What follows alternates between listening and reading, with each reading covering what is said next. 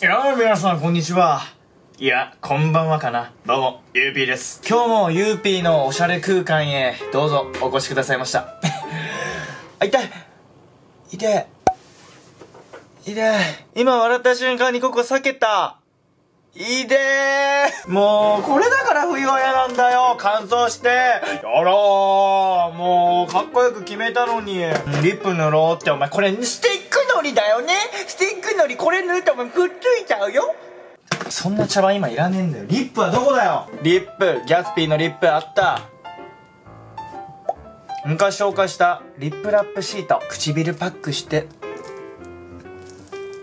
ふんふん、ふん、ふん、ふん、ふん、ふん、ふん、ふん、ふん、うん、待って待って、喋りでも全部字幕つけんのかよ。やだよ、そんなの。まあ、いや、リップラップ後でしよう。とりあえずこれをね、紹介する。ビアリッチでございます。これね、カフェに来てくれたファンの子からいただいたものなんですけれども、ピリッと爽やかなジンジャー風味のビアリッチができますっていう風に書いてます。ここになんかね、そのフレーバーの元らしきものが入ってて、で、沸騰させたお湯をね、この中に入れて、で、こいつを冷やして、で、あとはね、ビールにこう注いで、なんか、だから割るんですよね、多分。ビアリッチジンジャーっていうことでね、結構生姜風味な感じなんだろうね。で、どんな味がするのか全くね、見当もつかないわけですよ。ちょっと試してみたいというふうに思いますよ、のののにのね。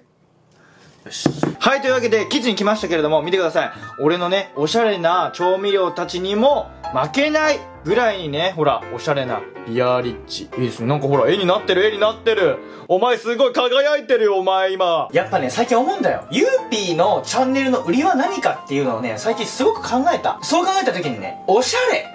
もうそこのジャンルだなと思った。なかなかね、この綺麗な外出で、こう、間接照明バッて焚いてね、こう、おしゃれに紹介するっていうのはなかなかね、ないんですよね、やっぱり。だから俺はそこのジャンルをね、突き詰めようかなと、今宣言します。まあいいでしょう。やっていきましょう。はい、じゃあね、入れていきたいというふうに思います。ほら。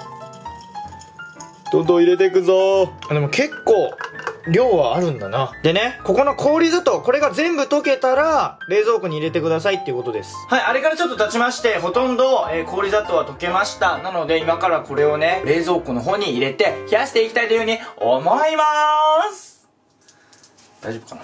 でね、ゆっぴーさん、あることに気づきました。ビールがない。なので、冷蔵庫で冷やしている間、ビールをね、買ってきたいというふうに思いますよ。はい、ということで、戻ってきましたよ。プレモル。やっぱこういう時はね、プレモルとかで、えーやった方がいいかなということで。これ、はい、キンキンにもう冷やしました。もう冷凍庫に入れましたがね、キンキンに冷えてます。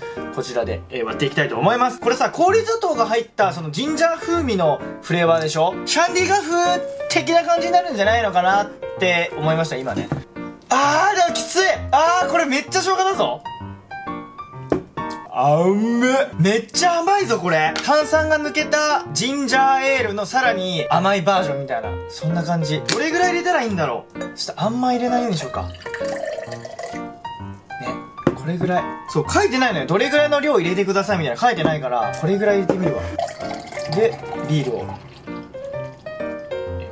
なんかね若干薄まったビールって感じ。ちょっと飲んでみますね。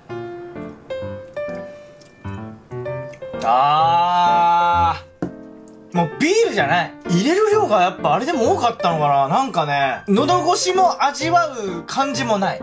甘い。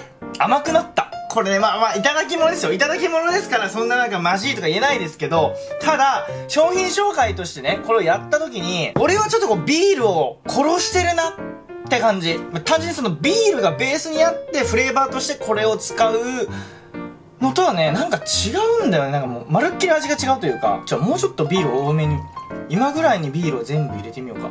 Cheers! あー、そうだね、そうだね。うん。今、ジンジャーが結構ほのかにか香るぐらいになってる。分量だね。分量。もう本当にちょっとでいいかもしれない。比率的には9対1ぐらいの割合で入れないと、こいつ甘すぎるから、完全に殺しちゃう。うん、今ぐらいがちょうどいい。ということで、えー終わりたいというふうに思います。えービアリッチ。一応試してみるのはありと思います。シャンディガフとはまた全然違います。やっぱり。多分ね、ビレ版とかに売ってると思うんで、買ってみてくださいね。ということで、終わりたいというふうに思います。ゆうびでした。みんな、またな。